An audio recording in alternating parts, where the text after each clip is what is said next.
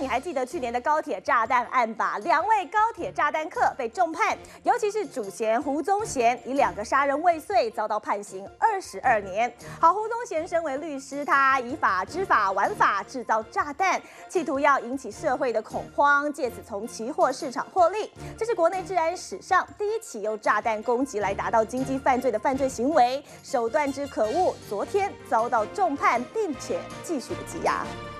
被告吴宗贤共同杀人未遂，处有期徒刑十五年；又共同杀人未遂，处有期徒刑十年，应执行有期徒刑二十二年。被告朱亚东共同杀人未遂，处有期有期徒刑九年；又共同杀人未遂，处有期徒刑六年。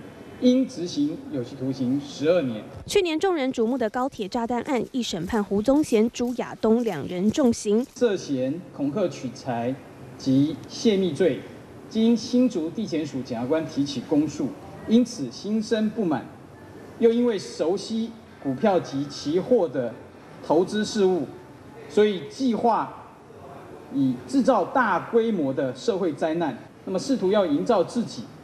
别无选择的困境，要淡化自己的行责。去年四月十二号，胡宗贤自制炸弹，并用行李装炸弹放在高铁上，趁机操纵期货，找来司机朱亚东合作，并放炸弹在立委卢嘉诚办公室，引起社会恐慌。法官认为，胡宗贤本身是律师，却不思正途，利用具有的专业知识制造危险爆燃物，引发社会恐慌，且饭后态度恶劣。而朱亚东贪图高额报酬，明知胡宗贤的计划，但不辨是非，配合胡宗贤各项计划，饭后屡次辩称是胡。胡宗贤恐吓、威胁，企图淡化罪责，罪行重大。